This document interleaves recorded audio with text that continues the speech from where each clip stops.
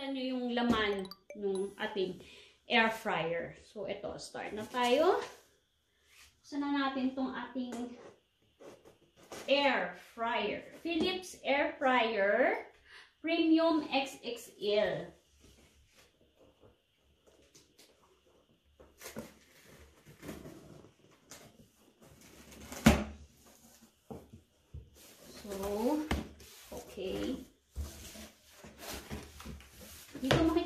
agad sa loob. Unang-unang makikita is yung catalog niya, yung instruction book nito sa loob. So, meron siyang ayan. Meron siyang iba-ibang language.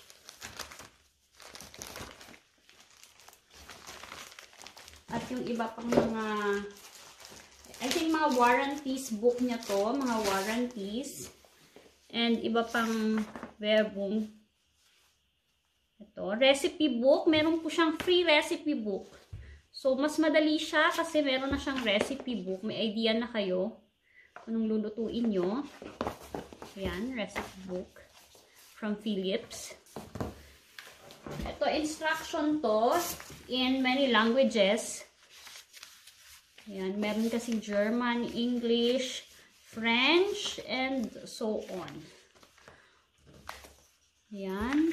Merong warranty book.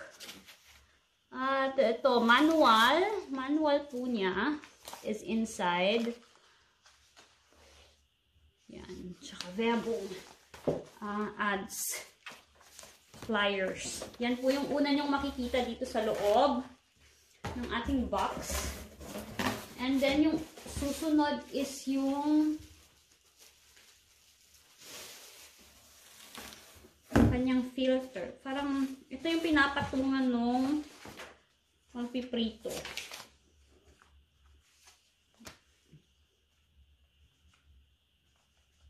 Grill button po ito.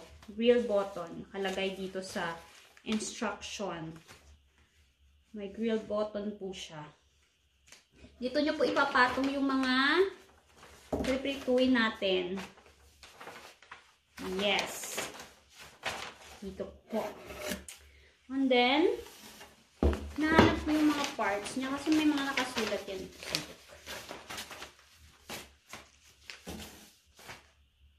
Yan po. Ito po yung drill button sa loob. Tapos, ito na. Merong safer safety na karton. Okay, guys. Are you ready? Yun na yung taas niya. Taas nung, nung box. Bababa ko muna siya para makita nyo. Ay, hindi ko pala pwede ibaba para makita nyo yung laman. Okay, so ito na siya. Nalabas ko na siya sa box. Ito yung magiging itsura niya from the box. So, wala na pong laman yung box yun lang po yun. Wala na po siyang other, other na laman. Wait, ipapakita ko po sa inyo. So, wala na po. Yun na lang po yun. Yung, eto, etong wing niya. Wait. So, ito. Tsaka, ito na agad. Ito na agad yung makikita nyo inside the box. Pero baka meron pa sa loob. Tignan natin. Kasi yung box, yung box po wala ng laman. So, ano na lang po yung protected, uh, protected box na na lang.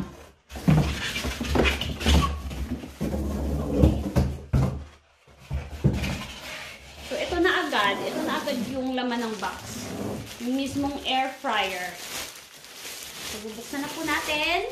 Ito na po. Yes, this is it. So, malaki siya, no? Mas Siguro mga dog. Kasing laki siya ng pinakamalaking rice cooker din. Pero yung aming rice cooker kasi maliit siya. So, mga dalawa nito. Ah, dalawang, dalawa ng rice cooker namin yung size niya. Malaki, malaki to.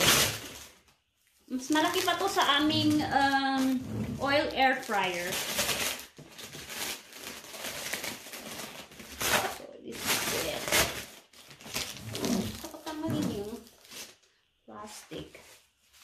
Makita nyo yung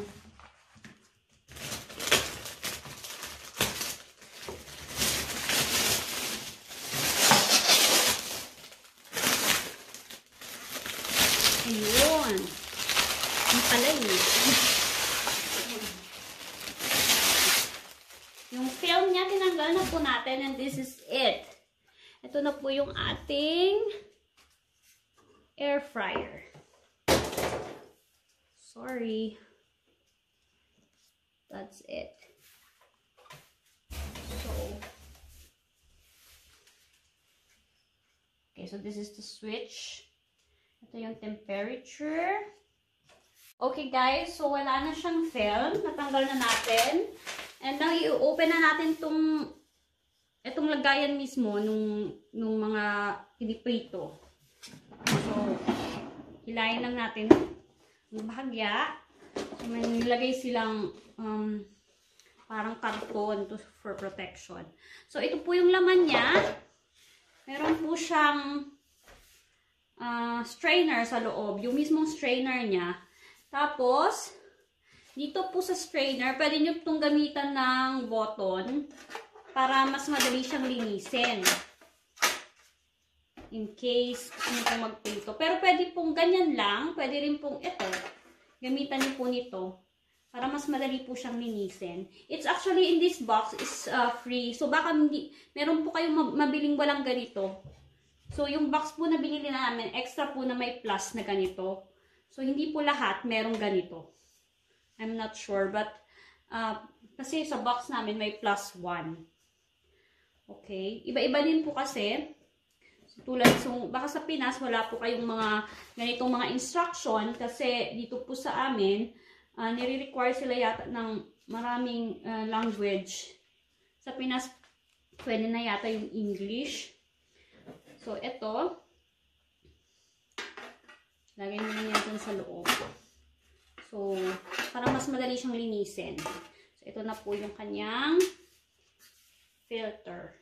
Uh, filter, no. Strainer. So, meron po siya ditong linya, maximum. So, it means, pag nagluluto kayo, dapat hanggang dyan lang siya. Hindi na po pwedeng magsobra-sobra. Dahil it's either masisira po yung inyong machine, dumi. So, dapat sinusunod nyo po yung line na yan. For maximum uh, na, na iluluto. So, ito po, sa baba, meron pa po siyang ganyan. So, ito, nabasa ko sa box niya. It's a fat removal technology. Siguro sa mga, ito po yung nagko-control ng mga fats ng niluluto natin dito. At saka dito po siguro mapupunta yung mga mantika ng pagkain natin. And then mas madali siyang linisin kasi natatanggal na siya. Natatanggal na siya dito. Hindi siyang tanggalin. Kasi kung makikita mo po yung baba nito, meron siyang katulad din ito.